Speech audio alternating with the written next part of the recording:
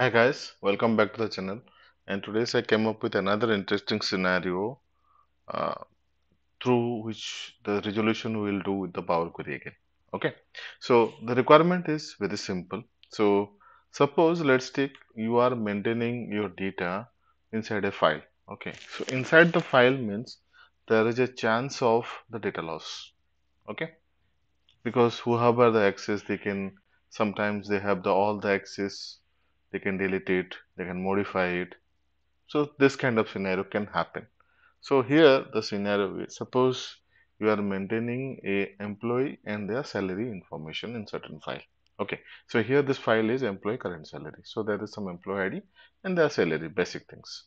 But what happen is so daily i am taking the backup of this file. So just before that and what i identified today is that the backup which i took yesterday the same file and the current file are different. Okay. So here i have around 15 rows are there on the current file. When i took the yesterday backup file this backup file this is my backup file where i have 19 rows. So there are four rows got deleted. And there could be chances that the employees which were there in the current salary that salary got also modified. Now our task is to identify what are the changes happened. Okay. Which are the four rows got deleted? Second which are the salary got modified? As per the backup. Okay. So that is the resolution or that is the each case here in this case. And it will solve through the power query with the merge joins and all. Let's see how to take this.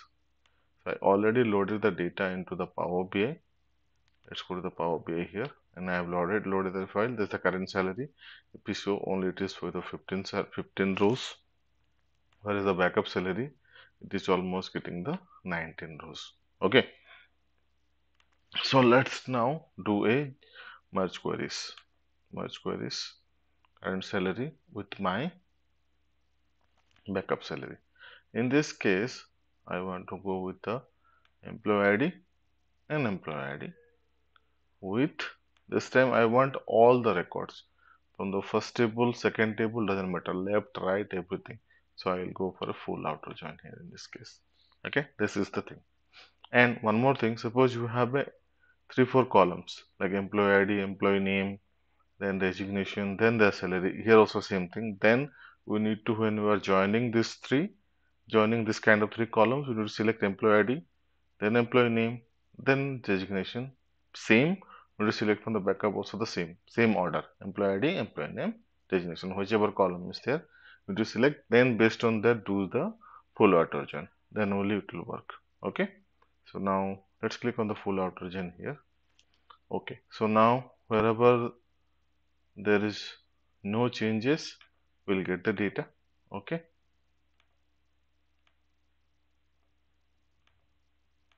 And let's see where is the null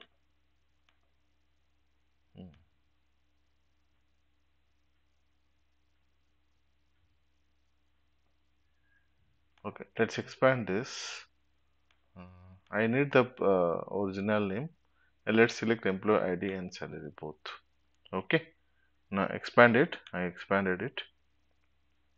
Right. So if you see this now I have expanded this employee ID is coming from my current salary and this is come from the the backup salary. Okay. So here if you see there is a two nulls here. 1019760t this row got deleted. This row got deleted. Okay. And this row got also deleted. So there are wherever there is a in the current salary there are nulls.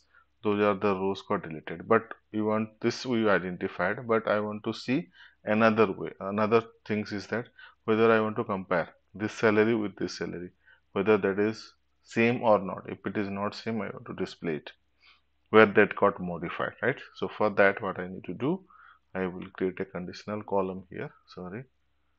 I don't want to select anything. Click on the conditional column and let's take the flag. Okay. Flag is what i will say salary okay equals another column. I will say the backup salary. If it is equal i don't want to display anything.